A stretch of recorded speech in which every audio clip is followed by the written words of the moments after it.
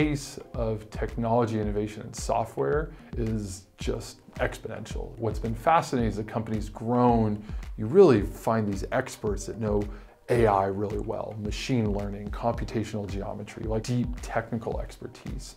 And I think when you get to apply that to a really old industry, that's when the sparks start going out. That's when amazing things actually start happening. We just launched a, a new uh, product that allows post-processing, so finishing, I can anodizing, uh, EChem film, powder coating, all these things instantly. And the system dynamically changes lead time, it changes pricing for these parts, but it all happens in just a simple drop down, click a button. So what the user sees is this delightful experience of like, I'm just ordering some like I'm on Amazon.